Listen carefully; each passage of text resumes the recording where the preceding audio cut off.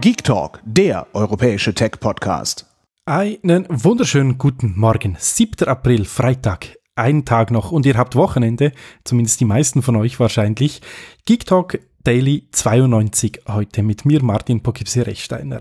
Ich habe heute einiges an Themen für euch mit dabei und die rappe ich doch kurz mal runter.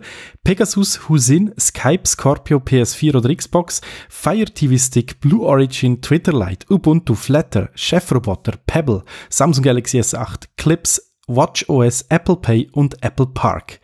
Ja, sind einiges an Themen, aber auch ein paar ganz kurze mit drin und deshalb beeile ich mich doch gleich mal. Staatstrojaner Pegasus, den gab es bis vor kurzem nur für iOS, jetzt mittlerweile leider auch für Android. Da ist kein Day One äh, Schwachstelle, die sie aus oder Zero Day Schwachstelle, die sie ausnutzen, besser gesagt. Sie kommen da anders rein.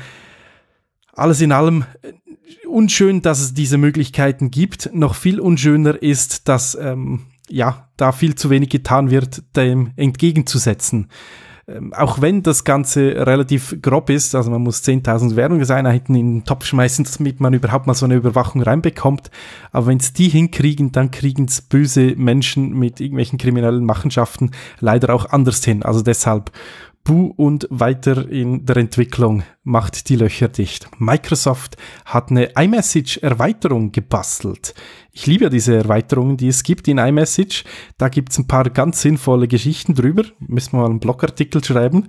Und Microsoft hat jetzt auf Basis von Bing, ja, ich weiß, Suchmaschine, die fleißig genutzt wird, eine kleine Erweiterung gebaut, um ähm, Termine auszumachen mit Freunden, Kino, Restaurantbesuche und so weiter. Witzige Idee, leider wieder mal nur USA. Ich hoffe, das Teil kommt auch in die Schweiz. Des Weiteren hat Microsoft ein Update bei Skype rausgehauen. Für den Mac in der Version 7.5. Da könnt ihr jetzt neu auch, wenn ihr irgendwo im Finder seid, eine Datei habt und verschicken möchtet, rechter Mausklick und dann das gleich über die äh, Share Sheet, also über die ähm, Freigabe-Dings, ähm, wie in einem Skype-Kontakt zugänglich machen. Wie das geht, Link bei uns in den Show Notes. Dann hat Microsoft heute oder die letzten Tage ein paar äh, Medienleute eingeladen, um ein bisschen einen Blick auf die neue Spielkonsole zu bringen. Sie haben den Namen nicht verraten, den Preis nicht verraten, nur ein paar Specs, welche das sind und wie die die PS4 übertreffen. Und ja, sie übertreffen sie deutlich. Das könnt ihr bei uns nachlesen im Beitrag. Schon allein die Leistung, 50% mehr, nicht schlecht. Und ja, auch der Preis, obwohl eben der nicht fix war, ist sehr, sehr verlockend. Solltet ihr euch einlesen. Dann gibt's äh, die ganzen Osterangebote, die es aktuell gibt auf Amazon etc. Wer sich aktuell noch eine PlayStation oder eine Xbox kaufen wollt, möchte, sollte sich unbedingt die ganzen Bundles anschauen. Der Jan und ich plädieren ja immer wieder auf diese Bundles-Preise und da gibt's wieder ganz, ganz aktuell und ganz, wie soll ich sagen, ganz interessante, besser gesagt, vor allem auch kostengünstige. Link dazu natürlich wie immer bei uns in den Show Notes. Fire TV, das Update mit der Alexa-Anbindung ist endlich rausgeflogen. Wer also ein Fire TV hat, sollte sich die Firmware updaten, denn dann bekommt ihr auch Alexa drauf.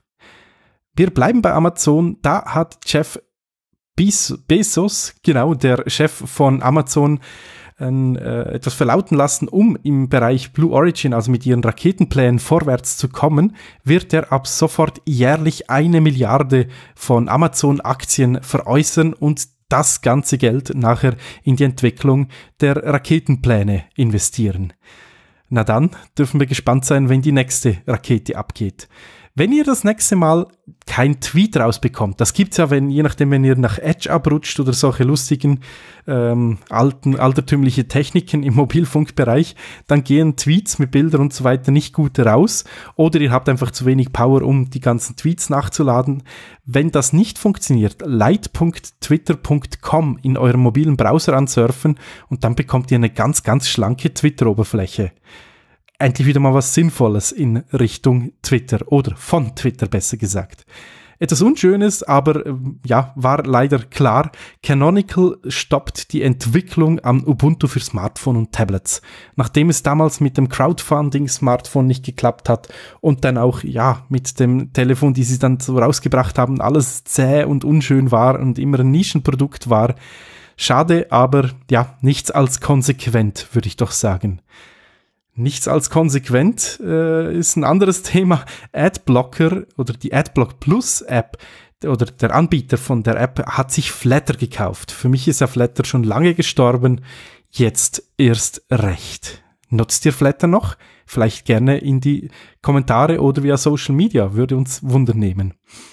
Wenn Roboter Einzug erhalten, einhalten in die Teppichetage. Ein ganz, ganz interessanten Beitrag in der Handelszeitung zu dem Thema, dass in zu näherer Zukunft immer mehr Roboter auch in die ähm, eben nicht nur im normalen Firmenbereich kommen, im Fertigungsbereich, sondern auch in die Teppichetage, weil die viel unemotionaler reagieren und analysieren und ähm, ja, entschließen können.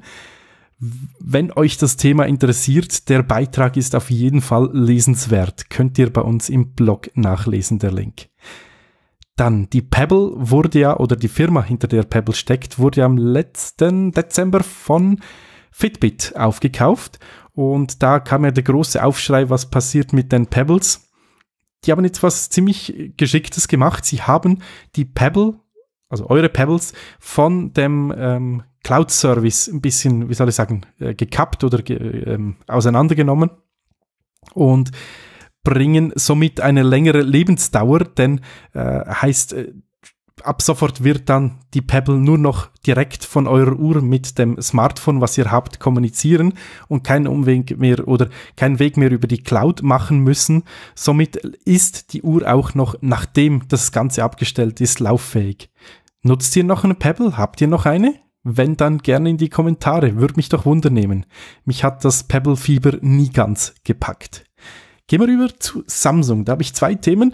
Zum einen im SGS 8 hat ja den Bixby-Button, also einen zusätzlichen Button für den äh, Audioassistenten. Jetzt gab es tolle Neuigkeiten, denn dieser Button lässt sich auch umkonfigurieren. Das war ja mein großes, äh, meine große Angst, wenn Bixby scheitern sollte, was passiert mit dem Button. Samsung war natürlich so schlau und hat den Button freigegeben, dass man da auch eine andere App drauf machen kann. Also Instagram, Snapchat für den Achim oder was auch immer. Sehr, sehr praktisch. Sofern er natürlich einen Samsung nutzen würde. Dann gab es auch ein, ein Entscheid im chinesischen Gericht. Samsung durfte 11 Millionen Euro, also relativ wenig Geld, aber dennoch äh, an Huawei bezahlen, weil sie bei über 20 Smartphones und Tablets Patente von Huawei verletzt haben. Spannenderweise ist ja Huawei bei diesem Pax Kompakt, äh, Pax, äh, wie sagt man, Konsortium, was Google in die Wege geleitet hat, nicht mit dabei. Also das, eine der, nicht einzigen, aber zumindest eine der einzigen großen Firmen, die hinter mit Android arbeiten und da nicht mit drin ist. Obwohl, wenn ich mir so die Liste anschaue, da sind ein paar chinesische Unternehmen nicht dabei. Könnte noch spannend werden, was da die Klagen anbelangt. Ja, dann in der Apple-Ecke habe ich ein paar Dinge. Apple Clips ist jetzt endlich da. Vor kurzem bei uns in den Newsfolgen vom Mutter-Podcast angekündigt. So eine kleine Snapchat-Filter-Tralala-App. Die ist jetzt da und hat beim einen oder anderen Review nicht allzu gut abgeschnitten. Habt ihr die App schon getestet? Wenn ja, lasst uns doch mal ein Bild, so ein verzerrtes, verfiltertes zukommen. Würde mich wundernehmen, was ihr damit macht. Ich habe es mir zumindest vor der Sendung geladen, aber noch nicht ausprobiert. An die Besitzer einer Apple Watch mit dem Nike-Design. Da gibt es jetzt schöne Neuigkeiten, denn ihr bekommt zusätzliche Watchfaces geliefert. Was genau dahinter steckt, hat euch der Jan in einem Beitrag ver, äh, vertippt. Das könnt ihr nachlesen. Es sind sechs neue Farben, die ihr da unter anderem einsetzen könnt. Also nicht die große Welt, aber immerhin ist wieder ein bisschen mehr Individualisierung dazu gekommen. Dann Apple Pay hatte einen schwierigen Start. Apple Pay wurde jetzt ja drei Jahre alt, aber Apple sieht sich auf gutem Kurs und wenn ich mir so andere anschaue, wie eben Google Pay, Samsung Pay und so weiter, die kommen ja erst jetzt langsam in die Wege, nachdem Apple einiges vorgekämpft hat. Mal schauen, wie lang es noch dauert, bis Deutschland, Österreich mit dabei ist und vor allem auch bis der ganze Markt ein bisschen mehr aufwacht. Zu guter Letzt habe ich euch noch einen Link zu den neuesten Luftaufnahmen zum Apple Park, denn da gibt's wieder ein, ein monatliches Video, das April-Video. In diesem Monat ziehen die Mitarbeiter ja ein Und ja, da gibt's noch einiges zu tun. Wie immer bei Baustellen ist ja bis zum letzten Tag ziemlich, äh, ziemlich Chaos. Und ich bin schon gespannt, wenn's fertig ist. In diesem Sinne, das waren die News für den heutigen Tag.